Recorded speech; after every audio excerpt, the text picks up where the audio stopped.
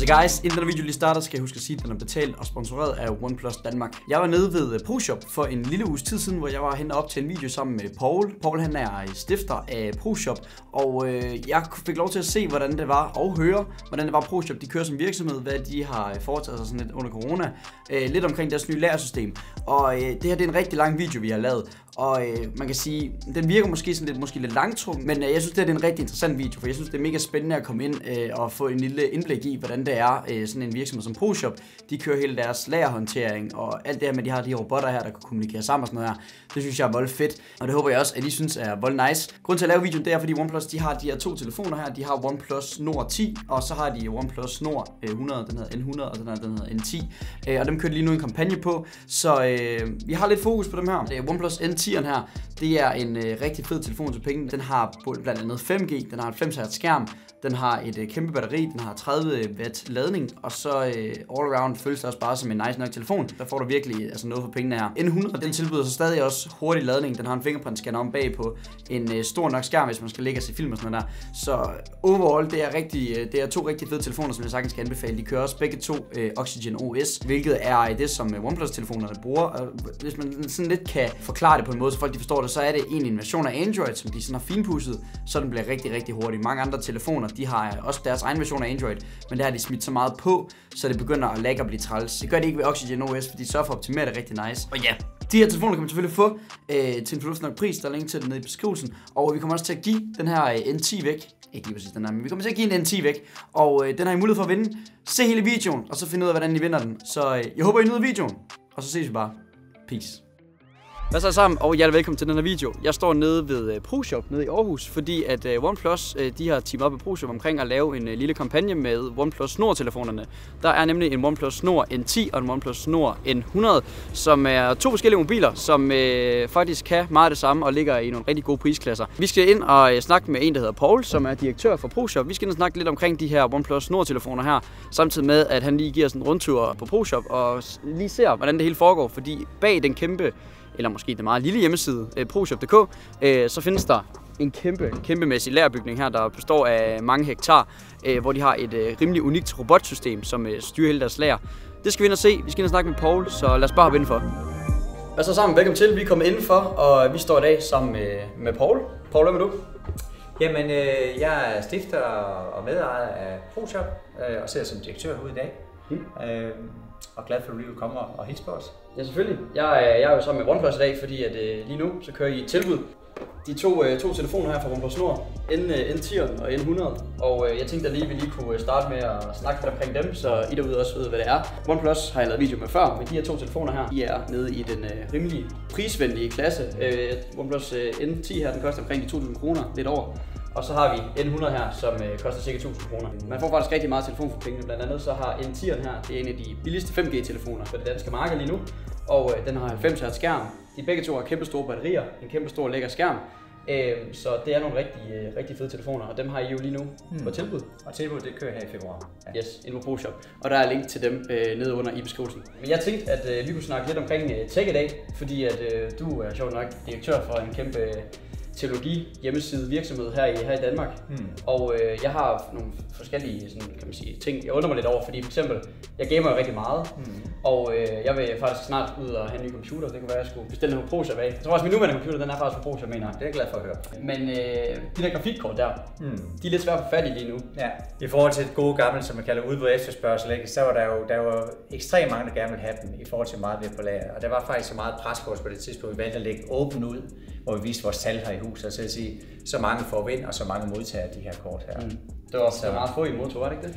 Jo, det var ikke, det var ikke nok i forhold til, hvad vi gerne ville have, mm. i, i hvert fald. Hvilken grund til, tror I, der er, til at der er så mange, der lige pludselig vil have grafikkort? Fordi det var nemt nok at få et grafikkort for tre år siden. Ja, ja, men det er, det, det er de nye, men det er bare, de har ramt spæksene spot on, og, og det gør bare, at alle gerne vil have det. Jeg tror også, de selv bliver overrasket. Og problemet er, at hvis man ikke lige har lavet nok produktionslinjer, hvor de producerer de der kort på, så der, har du en hel verden, der rykker efter dem. Ja. Så Nvidia og så videre, der alle er presset på den del. Og det er lidt den samme historie også med, med, med PlayStation 5, at efterspørgselen være enorm på den maskine der. Og så man sige, hvis man kombinerer det med, med covid-19, hvor alle som skal sidde hjemme og kede så skal man altså have noget grej for at holde Skal have noget game på. Ja, jeg tror også, det er fordi folk, der sidder derhjemme og keder sig, at de også skal til at købe, købe computer nu. Selvfølgelig, man skal da forkæle sig selv lidt. Har I kunne se sådan, det, det må jeg næsten kunne se, om, om der har været et rimelig god stigning i salg her under corona i forhold til Ja, ja, det- det- gamingudstyr og, og ramklodser og Det kan, vi, det det kan vi tydeligt se. Først så, hvad kan man sige, først så blev det vores øh, erhvervskunder, der købte det. Der er jo ekstra skærme og mm. altså noget kedelige skærme, tastatur og så videre hjem til.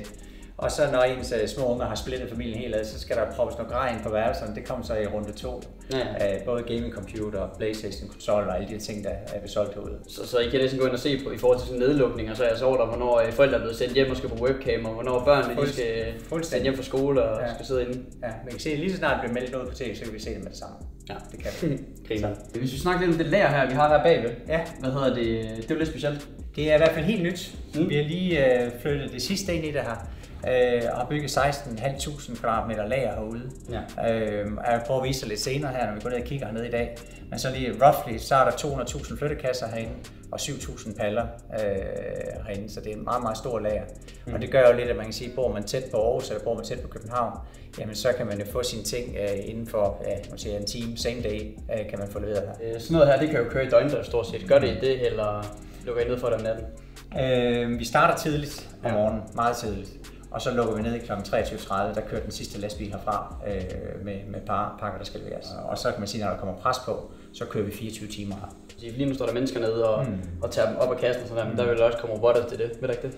Jo, men der sker meget, men det, det, det vi har haft herude, det er jo, hver gang vi har puttet noget teknologi ind, så har vores omsætning gjort, at vi har solgt mere, fordi vi kan levere hurtigt, vi kan levere Ja. flere varer, så vi ansætter flere folk. Så selvom vi har proppet hus med masse teknologi, Ja. så er det faktisk blevet flere og flere mennesker. Men i teorien så vil der også kunne komme mulighed for, at man sådan kan hente pakker klokken 3 om aftenen, fordi den har hentet det inden for lavet.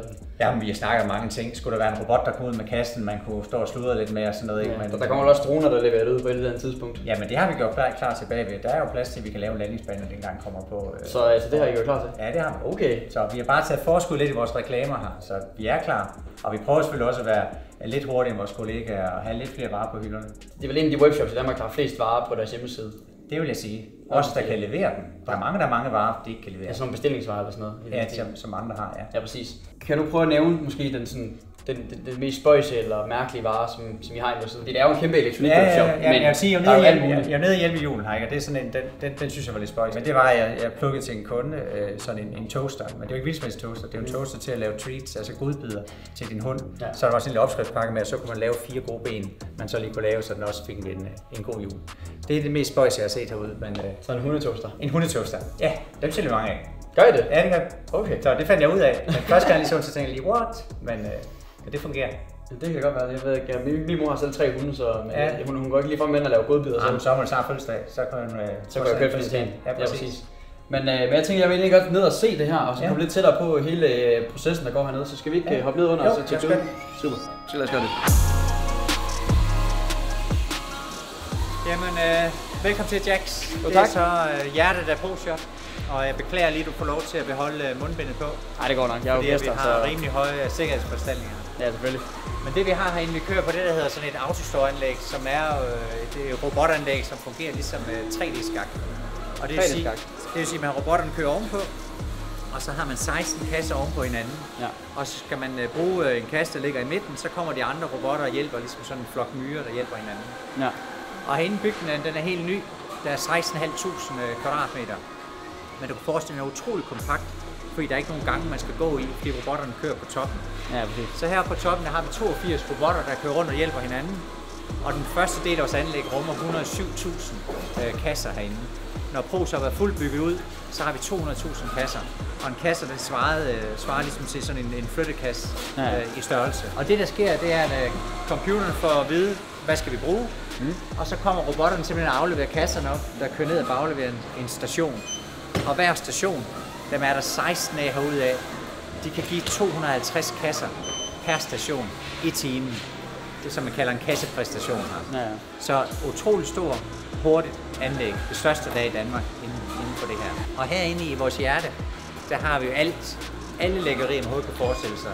Også OnePlus, som vi, er, som vi, som vi elsker og selv sælger rigtig mange af herude. Og hvis man skal bygge en ny computer, så kommer der lige 10 robotter og samler harddisk og Det gør det, fordi en computer består af 12 dele til. Så er der jo, øh, kan man sige, alle indmad, bundkort, processor, RAM og alle de der harddisk osv., vi skal bruge til den jo.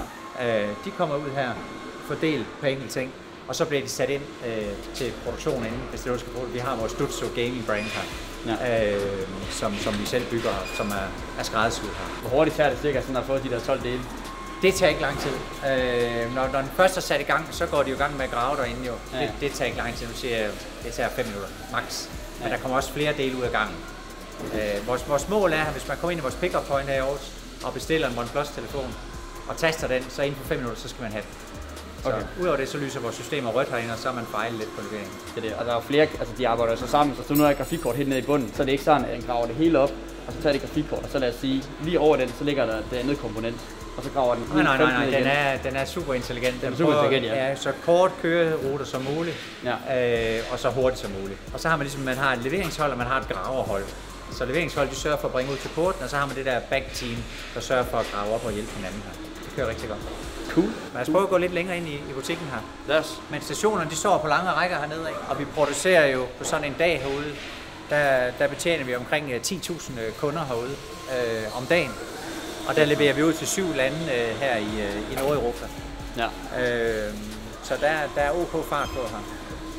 Og nu vil jeg helst ikke lige sige, hvor mange mennesker, der arbejder her. Men øh, vi, gav, vi gav gratis cola til dem, der var på lageret her i, i juli. og, øh, og der røg jeg 3.000 cola på 14 dage. Så, øh, så, så enten arbejder vi mange eller også øh, har de brug for sukker. Men herude, der, der kan man sige, der lander telefonerne, for eksempel i det efter OnePlus, som vi snakker om i dag. Ja. De kommer ind her øh, på, på paller, så bliver de jo skåret op, mm. og øh, kasserne, og så bliver det så kørt ind i vores anlæg. Og så bliver det ligesom plukket, kan man sige, ad hoc, når folk de så bestiller de enkelte ordre, der, der, der kommer afsted her. Ja. Hvor Øh. mange, hvor mange telefoner er der sikkert plads til i sådan en kasse der? Og der er plads til mange. Nu siger jeg, der kan være, gæt et 50 kan der være i en kasse. Ja, ja. De fylder jo ikke meget. Øh, så, så der kan være rigtig, rigtig mange her. Ja, der er god musik herude, og der er altid skrald, skrald på her. Så kan vi prøve at bevæge os op ad trappen, og så prøve at lige tage et kig ud af vores Så man lige kan se anlæg. det hele. Ja, ja, præcis. Men det er selve hjertet, kan man sige, i vores robotlager. Det er jo her, vi sørger for, at hvis robotterne skal ud og have lavet reservedele i eller andre ting, så bliver de kaldt ud her. Og vi har, som det er nu, så har vi det, som jeg sagde tidligere, så har vi de der 107.000 kasser herude i det nuværende anlæg. Når det er fuldt udbygget, så er der 200.000 kasser. Og så hælder man egentlig robotterne ind efterhånden, som de skal bruges øh, herude. Øh, man kigger hele tiden på, er der nok performance, og hvor mange kasser kan man ligesom præsentere i anlægget. Jeg kan se, der er, en, øh, der er nogle åbninger der. Vi kommer til at lave en halv mere, eller hvad? Ja, men der er faktisk den hal, vi står i her. Ja. Ja. Dem er der to mere af derinde af. Så Okay. hver, hver hal er 2.000 kvadratmeter. Det er lidt svært at forestille, hvor stort det er, fordi de er jo også de er jo 8,5 meter i højden også. Ja, ja. Så der kan være rigtig meget derinde. Så det er vigtigt, at kapaciteten kan skaleres op. Også når vi har Black Friday og så videre, så er der, så er der sgu skrald på. Og så kører vi jo 24 timer i døgnet. Ja, hvor mange robotter er der derinde nu, du? Der er 82. Der står 80. Ja. Og dem kan man bare blive ved med at udvide stort set. Det kan bare skalere. Ja, de koster cirka det samme. Robot koster cirka det samme som en øh, sådan middelgod personbil. Så, Så, det er så, sådan, så, det er en masse små mini-Teslaer, der arbejder på en. Det er det, ja. Ja. Det er det. Ja, det er det faktisk godt. Øh, ja. Godt Det burde faktisk være Mods, der opfundet det, men øh, han har travlt med så meget andet. Jo. Der, der er nogle raketter og nogle elbiler den her gang. Præcis, præcis. Ja. Hernede kan man se, der er pakkestationerne hernede, der står så. Øh, der er jo øh, 16 af dem, ja. hvor man kan producere hernede. Øh, og det kan vi så lidt skalere tidspunkt på, hvor tidligt starter, hvor, hvor sent slutter det. Og nogle gange, når det går vildest til, øh, så, så kører vi døgn, døgnåbner herude. Men det er det, for jeg har nogle gange bestilt noget på ProShop, sådan noget kl. 20, og så har jeg allerede det dagen efter. Ja, vi har jo deadline, der hedder kl. 21. Bestiller du der, Ja. ja. så har du dagen efter. Og det nye, vi kommer med her om ja, cirka en 30 dages tid, det er, at du bestiller om lørdagen, så leverer vi også om søndagen. Så vi er faktisk i levering, hvad hedder det, alle ugen syv dage. Men den fedeste anmeldelse fik vi faktisk her lige for et stykke tid siden. Og der er en, der skrev, at han sidder han er nørdet, han skulle faktisk bruge grafikkort siden nørdet, helt sindssygt. Mm. Og så øh, efter fire timer, så har han besluttet sig, så tror jeg på return. Og så skrev han på nettet, at efter 45 minutter, så ringer det på døren. Og så fik han leveret. Fordi i Aarhus København, der har vi øh, same day, der kører derude. Så det synes det er den fedeste anmeldelse. Ja, det er, det er, ret, det er ret sygt. Ja, han er jo rimelig overrasket, det synes jeg er meget godt. jeg Så, forstå. så vi gør selvfølgelig, hvad vi kan for at speede leveringshastigheden op. Jeg, jeg, jeg, jeg har også bare siddet på track and trace nogle gange, når jeg bestemmer Ja, ja. og så har jeg siddet i 3-4 dage, og så sidder den lige Ja, en, øh, en halv dag i Stockholm og vil ikke bevæge sig og sådan noget. Det er simpelthen, man bliver frustreret over. præcis, præcis. Og du når, du når engang at vågne, før det banker på døren her. Ja, det er fedt.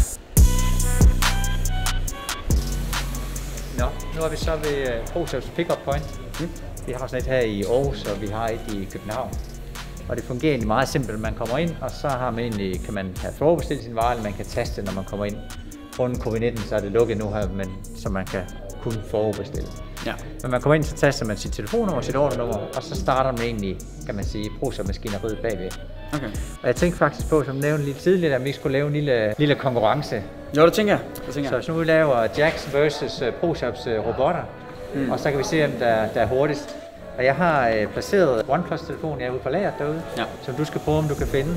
Og så vil jeg taste et ordrenummer her mm. uh, på maskinen herovre, og så kan vi se, om der, der er hurtigst. Ja, Er du frisk? det er klar på. Det man gør, man kommer bare ind, og så, øh, så har man egentlig sit, øh, sit øh, mobilnummer, man taster herovre. Og så har man egentlig sit ordrenummer med. Og jeg trykker return her, så får du den her seddel her. Ja, og så Og skal så er det en anbefaling for, at det er fair, at du sprinter. så øh, skal skynde mig, eller hvad? ja, er du klar? Jeg er. Du får den her, får ikke lov at snige Og så kører vi.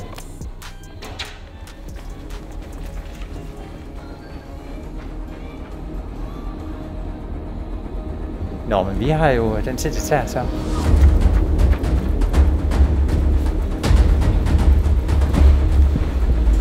Nu er ordren ligesom aktiveret, og den bliver sat til udlevering her i vores systemer.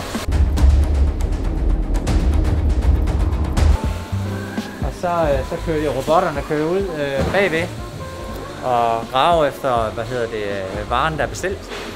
Og nu som det her, hvor det er en hot vare, så ligger den øverst og relativt hurtigt at få, få fingrene i.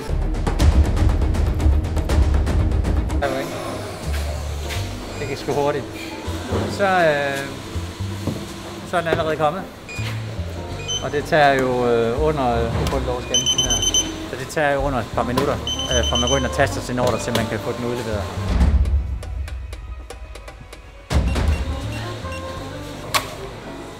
Så er vi klar.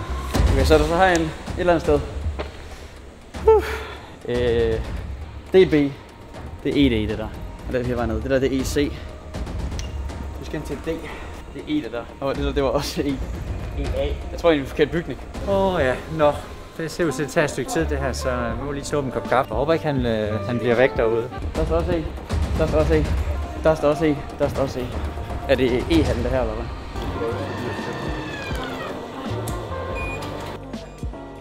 Der er noget D her. DB. Det ser ud til at være hele DB, det her. Nu skal jeg bare ned til 31. Jeg har så fået at vide, at den er nede på, en, øh, på et niveau, hvor jeg godt kan nå den.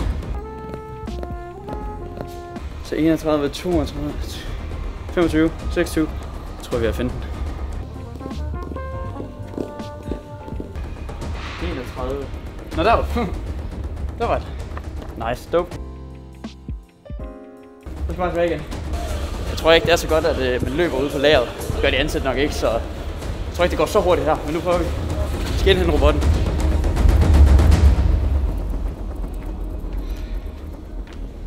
Nå så, hvor lang tid du er færdig?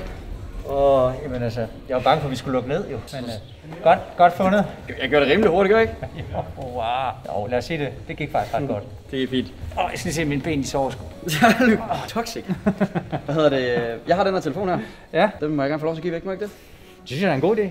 Jo, hvis I gerne vil vinde den her, så skal I skrive N10 ned i kommentarfeltet. I skal skrive jeres Instagram-navn. Så skal I gå ind og følge mig på Instagram. Jeg hedder Jackstyle1337. I skal følge OnePlus Danmark, og I skal følge ProShop. Der ligger link til Instagram-profilerne nede i beskrivelsen. Og hvis I gerne kunne tænke jer en af de her telefoner her, så er der lige nu rabat inde på dem inde på ProShop, og det er også nede i beskrivelsen.